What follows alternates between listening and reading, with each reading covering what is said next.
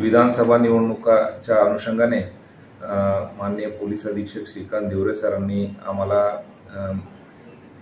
जे तस्करीच्या मार्गातून येणारी जी दारू आणि अंमली पदार्थ तसेच शस्त्रे यांच्यावरती प्रभावी कारवाई करण्याबाबत आदेश केले होते.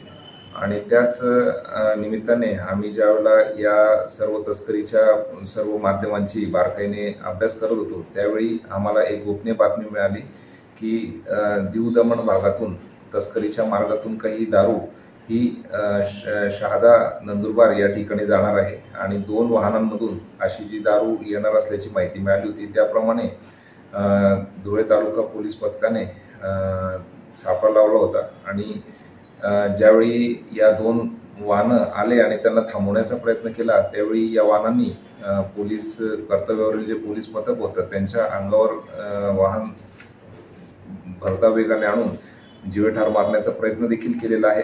परंतु अशाही परिस्थितीमध्ये पथकाने जीवावर उदार होऊन ही कारवाई केलेली. या कारवाईमध्ये साधारणतः सात लाखाची जी काही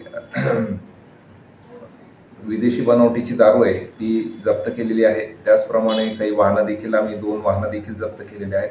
असं साधारणतः पंचवीस लाखापेक्षा जास्त मुद्देमाल या कारवाईमध्ये आम्ही हस्तगत केलेला आहे.